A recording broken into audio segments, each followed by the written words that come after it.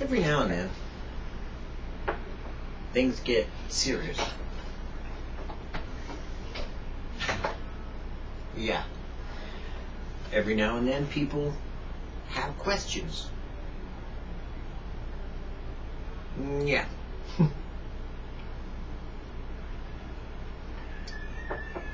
Every now and then people want to know, well, now, you, you, you got like over 100,000 people checking out your site. You got like, you know, hundreds of people watching the videos. So just where and who and what are you doing? I mean, now, what happens when you uh, when you have a question? What happens when you run into conflict? What do you do about all these things? Well, I thought maybe I should introduce you to my board. You know, those people that help me out, that keep me straight, that advise me what to do when I really don't know what to do. So, when I really have a question as far as theology is concerned, when I really have a problem when it comes to knowing how to answer a person, when I don't know exactly what to write, then I ask my two companions here, what do you think? And they always offer me a good opinion.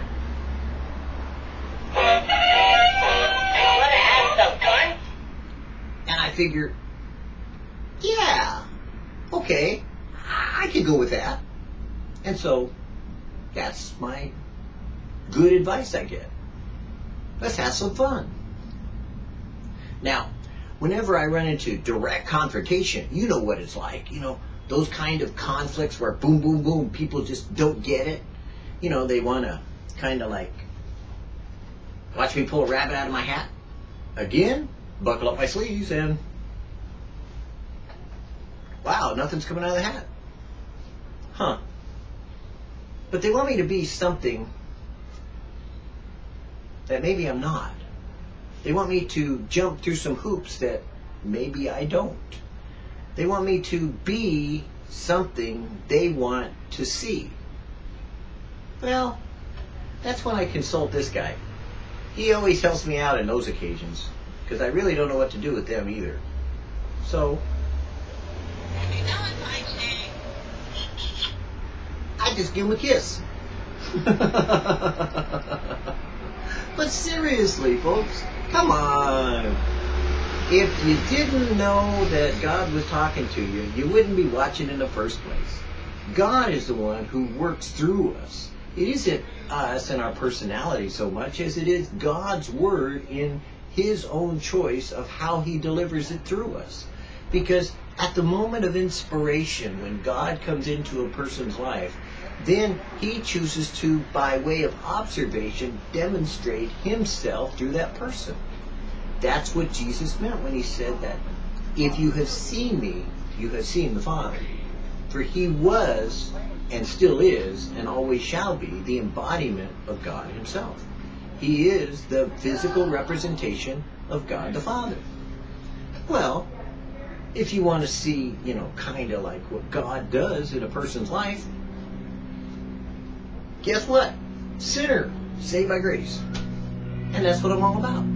Really. And that's why it amuses me in some ways. It confuses some people in other ways, and it kind of like downright makes some people wonder when they ask me, well, how did you get to where you're at? I say, well, God did it. Well, no, really, how did you, how many years did you study? Well, frankly, God did it.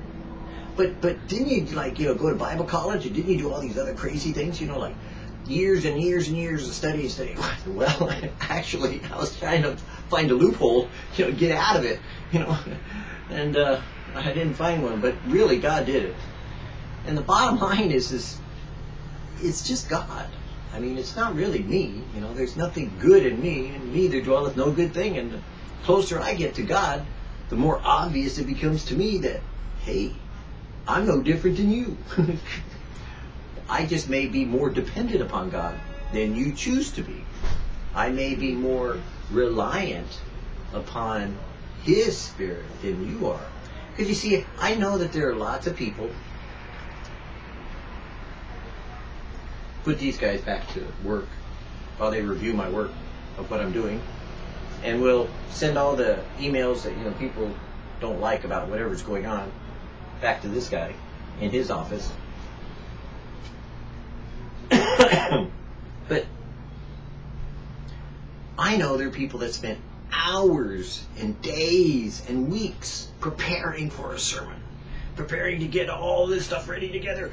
Oh, we got six services this week and we got to get it all together so that we can have all of our satellite campuses all online on track.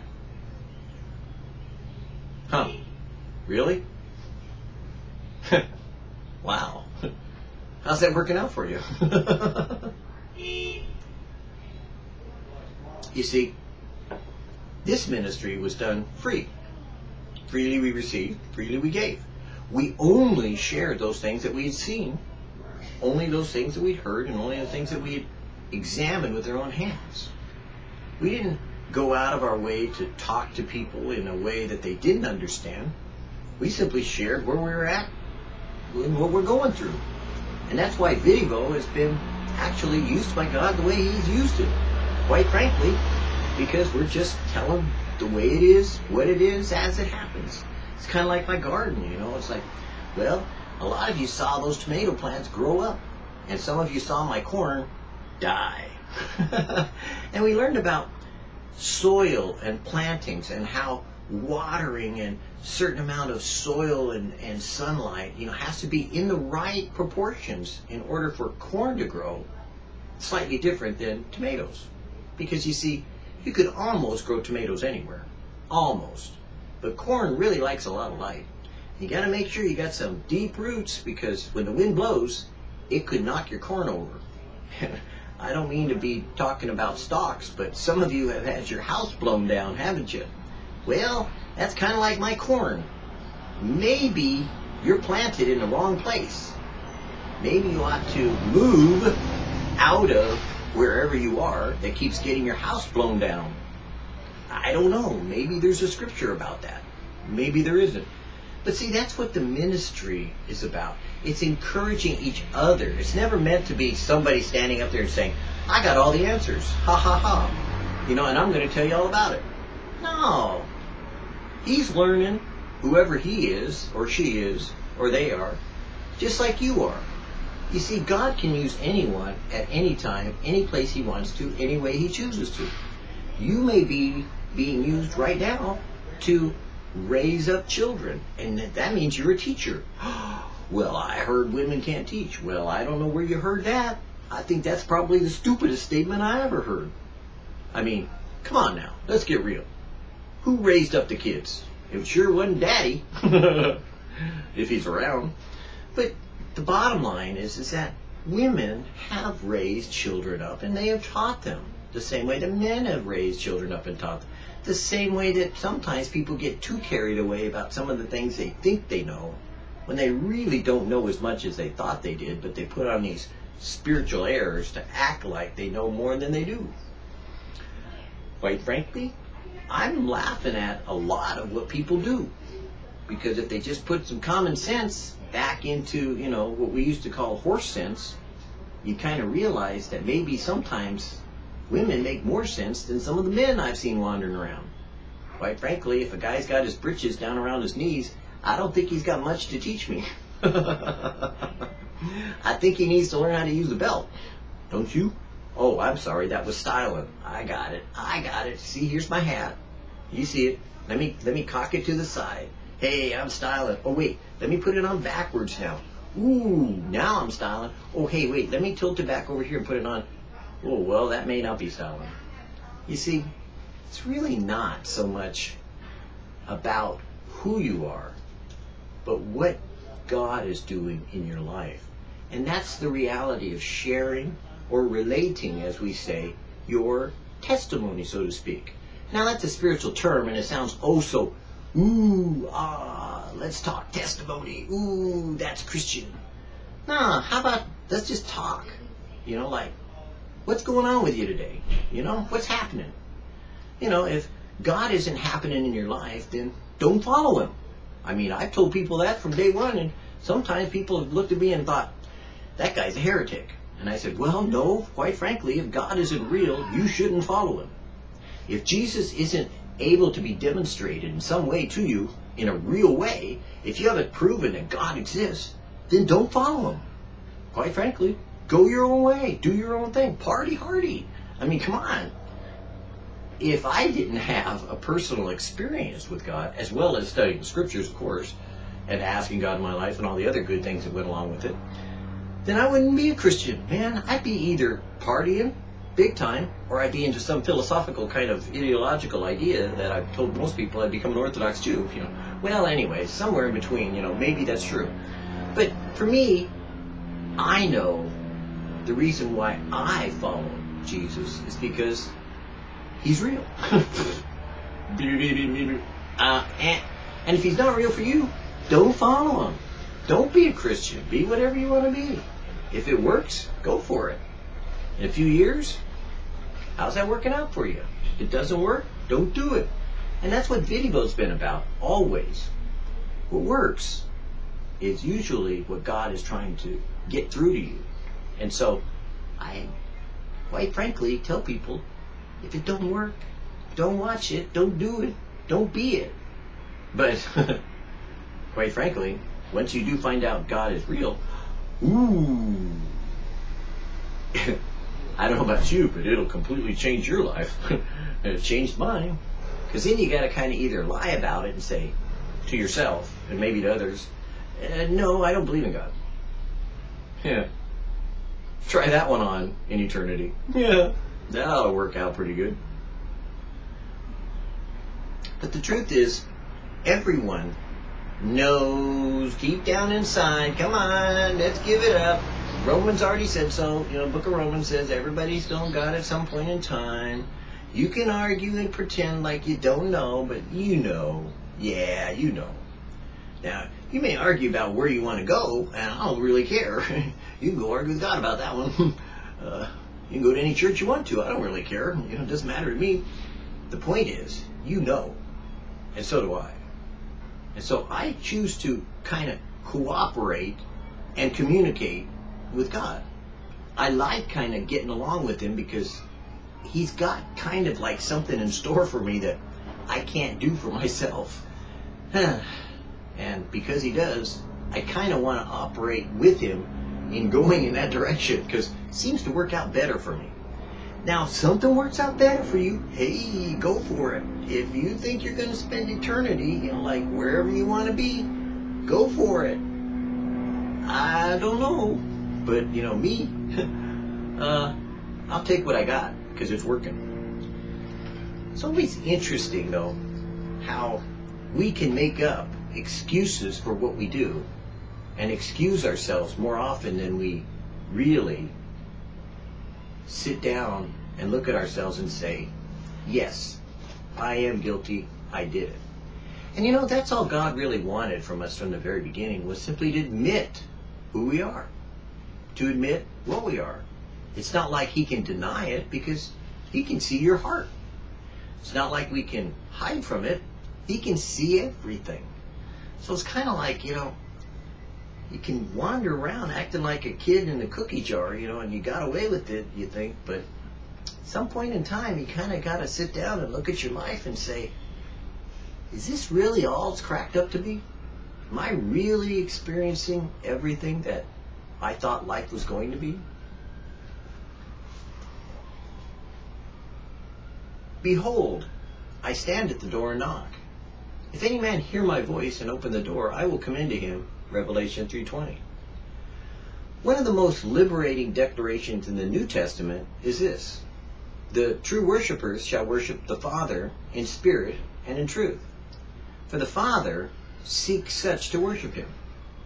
God is a spirit. And they that worship him must worship him in spirit and in truth. John 4, 23 and 24. Here the nature of worship is shown to be wholly spiritual, not physical. True religion is removed from diet you know, fasting and all these other things that people do, and you know, slicing and dicing and piercing and all that junk.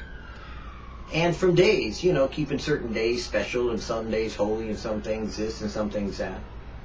True religion is removed from garments and ceremonies. It's not about the robes and it's not about about the hats and it's not about the little boxes you tie on your foreheads or even the gold that you wear on your rings.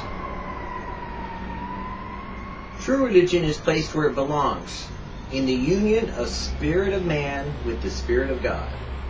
That is worship. When God and man meet together as one. From man's standpoint, the most tragic loss suffered in the fall was the emptying of his innermost being by the Spirit of God. Suddenly, inside, he was dead. He recognized spiritually he was not aware of the things of the Spirit. At the far in hidden center of man's being is a bush fitted to be the dwelling place of the triune God. there God planned to rest and glow with moral and spiritual fire. God would be our light. Man, by his sin, forfeited this indescribable, wonderful privilege and must now dwell there alone. In the cold, dark recesses of your heart is the cold, dark recesses of your heart. But should God come in there and set up his place, then light springs forth in the midst of darkness. And behold, you will see a great light. For so intimately private is that place that no creature can intrude. Only you are there. No one can enter in but Jesus, and he will enter only by the invitation of faith. Behold, he says, I stand at the door. I knock. If you hear my voice, if you open the door, I will come in to you, and I will sup with you, and you will sup with me. Can tell you what kind of indescribable joy there was at my salvation. That's easy. I can tell you of the thousands of people and their testimonies of those that didn't feel something at the moment of their salvation, and yet they, by process of developing a relationship, came to a place where they knew God and are in fellowship and communication with Him. I know this. When the Spirit of God comes into a man, and God is in communication with that man, and that man is in communication with God, nothing can come in between.